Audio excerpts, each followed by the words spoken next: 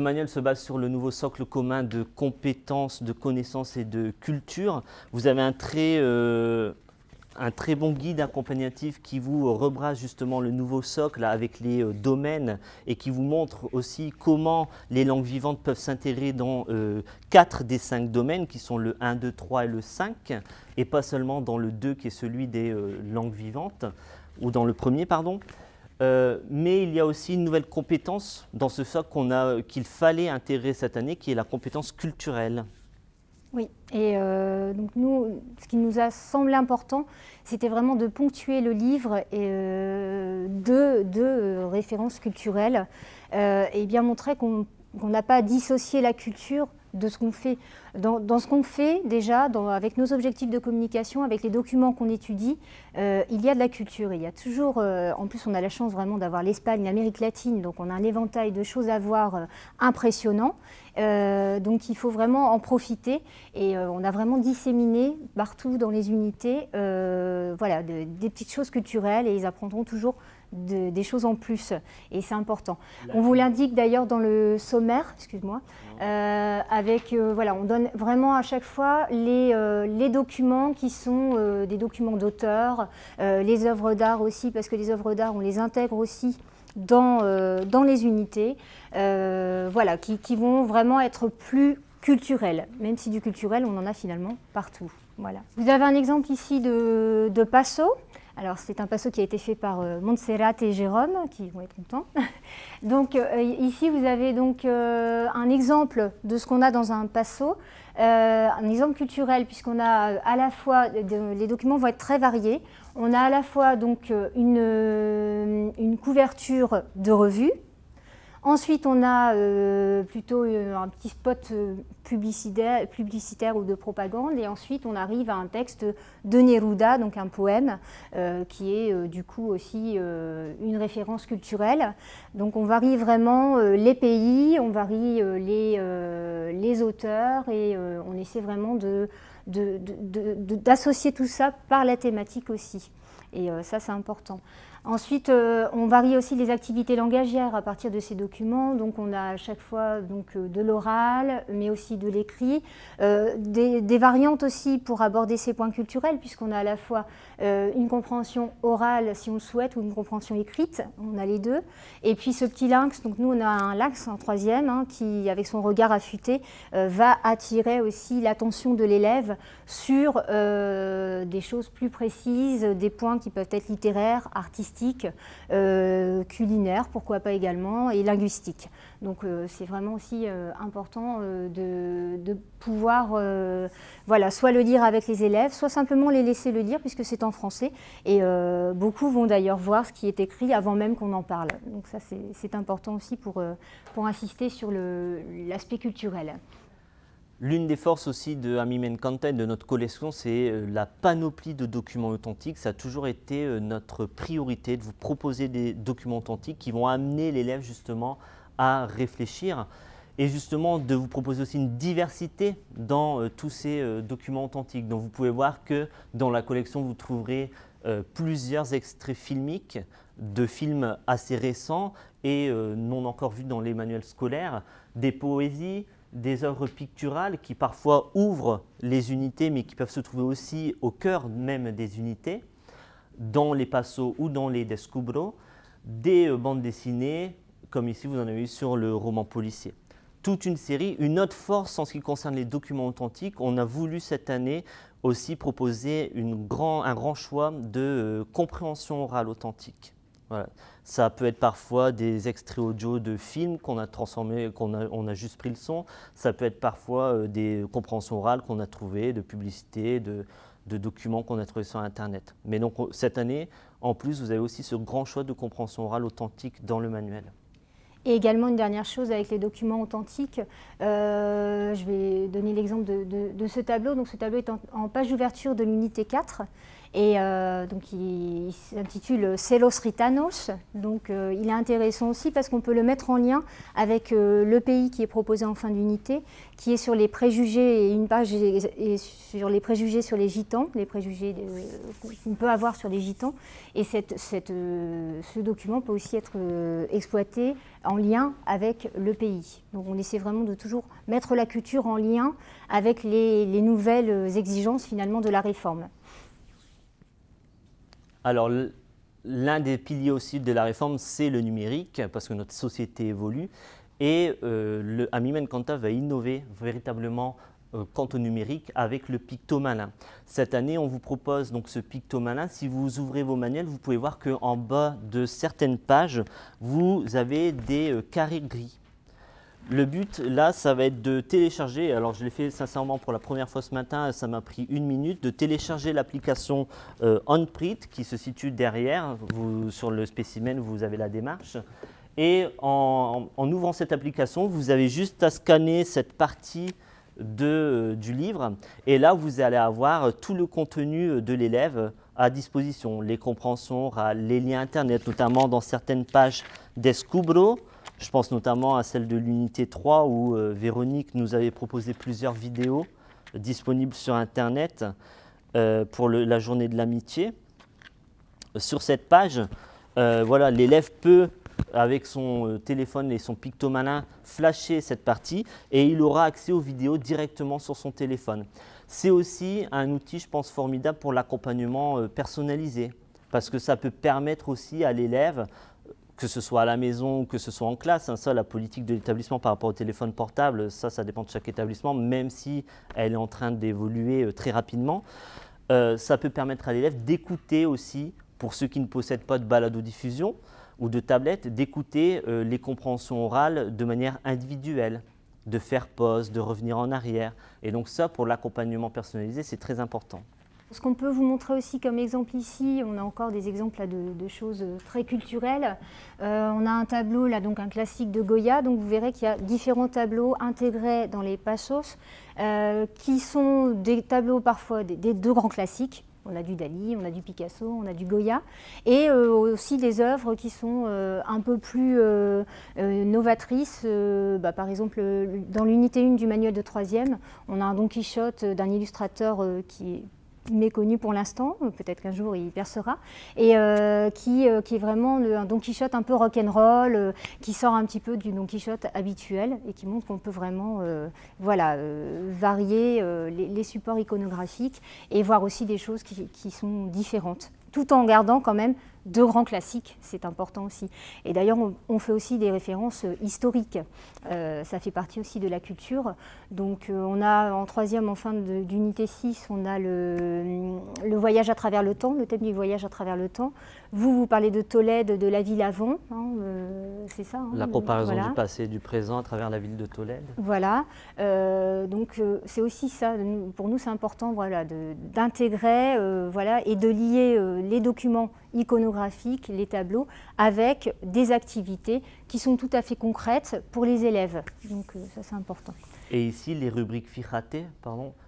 alors, dans la page Utiliso, la rubrique FIRATE et nos mascottes servent à comparer les langues entre elles et leur utilisation.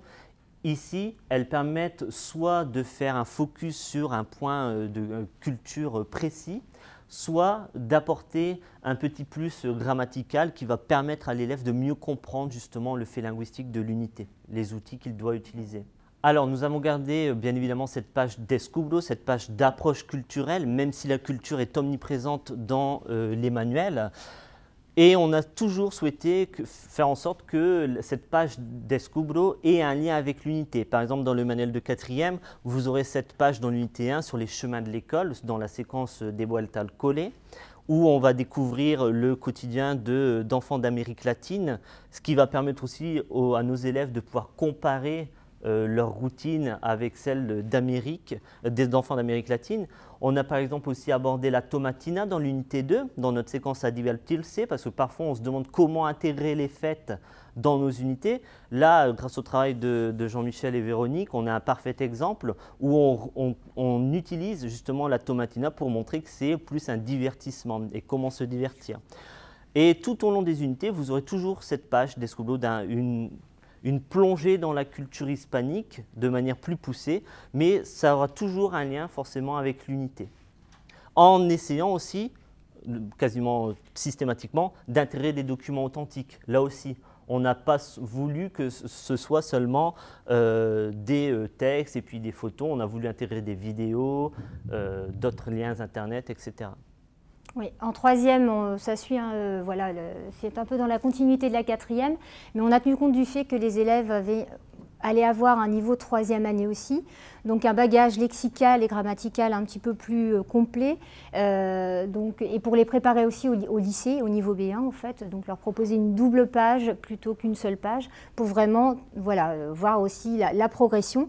Et, et, valoriser aussi, je pense qu'ils se rendront compte aussi du fait qu'ils peuvent comprendre de plus en plus de choses. Et ça c'est important. Et dans les pages d'Escoublo d'ailleurs, à chaque fois comme tu le disais, on propose des vidéos, on propose des activités TIS, beaucoup de choses qui peuvent se faire par groupe, en groupe aussi. Et euh, ça peut être aussi des documents qui sont intégrés dans la séquence. On n'est pas obligé de les mettre euh, à part, justement. C'est ça qui, est intéressant. C'est du plus, c'est du plus qui peut être vu avec les élèves euh, d'une autre façon et encore enrichir davantage ce qu'ils auront acquis euh, pendant l'unité sur, sur la thématique choisie. Ici, en troisième, par exemple, l'unité 2 est basée sur le, thème du, travail, donc euh, la découverte professionnelle, donc aussi en lien avec la découverte professionnelle en troisième, et également donc les rêves des enfants, le travail des enfants. Et là, on est tout à fait là-dedans puisqu'on parle du, du muralisme, donc euh, comment euh, se révéler par son talent, comment euh, donner une opinion d'une autre façon, et également donc après des découvertes comme de Pablo, enfin, Pablo Neruda, Diego Ribera, pardon, de Diego Ribera avec vraiment une œuvre un petit peu plus voilà, célèbre qui va un peu illustrer ce qu'on aura pu voir aussi pendant, pendant l'unité ça peut aussi, ces pages peuvent aussi être l'occasion aussi de mettre en pratique euh, le travail en îlot. Par exemple, ici, on pourrait demander à différents îlots, à tel îlot de travailler sur ce qui se passe au Mexique, d'autres au Pérou, d'autres en Argentine, et pouvoir faire une mise en commun ensuite.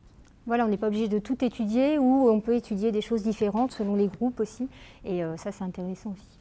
Alors, on a aussi, oui, En Voz Alta, donc euh, ça s'appelait euh, hablar en cinquième, donc c'est la même rubrique, sauf qu'on a changé le nom pour mettre davantage l'accent sur l'oralité. Donc, ce sont vraiment des pages qui sont basées sur l'écoute, euh, l'expression orale, l'intonation, la prononciation. Donc, on propose de, petits documents complémentaires qui peuvent être vus aussi au sein de l'unité, hein, c'est un choix après d'enseignants, euh, qui vont permettre voilà, euh, d'habituer les élèves à, écouter, à dégager du sens de ce qu'ils entendent par la chanson, par euh, le poème, par des pièces de théâtre aussi comme la Las Bicicletas son para el verano, qui peuvent être faites en demi-groupe aussi si on a des demi-groupes, et qui peuvent prolonger aussi ce qu'on a décidé de voir dans, dans les unités. Ce sont des documents authentiques. Donc on a aussi El euh, Refranero qui sont, juste de petits proverbes en fait en lien avec la thématique de l'unité. Euh, et euh, on peut donc avec les poèmes plutôt travailler l'apprentissage, la récitation, mais juste aussi la lecture, pourquoi pas. C'est important aussi maintenant de, lire à l'oral. les chansons bien sûr, ça ils aiment toujours. Il faut savoir qu'on propose des chansons dans une bossa alta, mais on en propose aussi au cœur des unités. On en a une dans l'unité, dans notre unité 2. Euh, sur le travail des enfants. Donc vraiment, euh, voilà, il y, a les deux. Et ce sont, des petites activités en plus qui peuvent être vraiment euh, intéressantes et qui peuvent faire, donner lieu aussi à un cours et être intégrées dans, la séquence. Alors la rubrique phonologie, donc dans la double page Utiliso, on a cette petite rubrique à pronunciar. Donc on part encore du constat pour ensuite expliquer et mettre en pratique. C'est une rubrique qui ne prend pas beaucoup de temps, qui peut être faite, euh, ben, si on repère par exemple dans une chanson, dans un poème, euh, dans un texte, un, son que les élèves ont du mal à, prononcer, la R, la jota, etc., on peut euh, décider en, fin de, cours par exemple de voir cette petite rubrique avec eux et en général ça les amuse beaucoup. Donc c'est important et ça dédramatise un petit peu aussi la prononciation. Ça, va à la fois les, amuser, ceux qui n'osent pas vont se lancer un petit peu plus et puis chacun son courage finalement parce que, bah, ça n'est pas facile de prononcer correctement les, les, sons. Et du coup c'est agréable à faire avec les élèves. La page des fiestas continue à se trouver en fin euh, de manuel, même si parfois on a aussi intégré des fêtes au cœur de nos unités, comme la tomatina dans l'unité 2 du manuel de quatrième. Dans le manuel de quatrième, justement, vous trouverez deux fêtes en, double page, Las Fallas et El Dia de los Muertos, avec à chaque fois sur la page de gauche le contenu qui va euh, nous permettre à l'élève de comprendre cette fête de la Cernée. Et sur la page de droite, trois activités. La découverte d'un document authentique. Ici, vous avez un court métrage sur El Dia de los Muertos, une petite activité euh, ludique. Et El Taller Creativo avec ici, alors deux choses, vous avez la receta del pan de los muertos et puis ici vous retrouvez aussi, pour favoriser aussi le travail en îlot, vous, euh, on a proposé justement la création euh, d'un hôtel des morts où chaque îlot devrait créer certains aspects de l'hôtel des morts. Et en troisième, vous avez donc toujours ces pages des fiestas, mais chaque fête ici sera sur une page. Les trois fêtes proposées sont la Feria de Sevilla, le San, Jordi et euh, Inti Raimi. Et à chaque fois, pareil, dans le manuel de troisième, vous trouverez un document authentique, une vidéo ou une affiche, et également une petite, euh, une petite activité ludique. Il faut savoir que ces fêtes sont proposées parce que soit elles ont un lien direct avec une unité du manuel et donc elles peuvent être vues en complément d'une unité.